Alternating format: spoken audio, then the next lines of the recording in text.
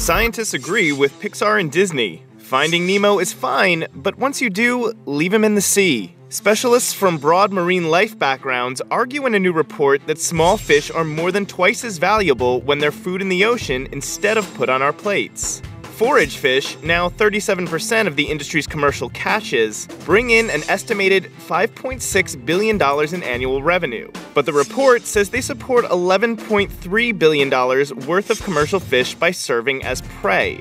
Experts want fishery managers to leave 40% of adult forage fish in the sea, up from the traditional 20%. Otherwise, they say we may soon reach a tipping point where our demand may severely disrupt the ocean ecosystem.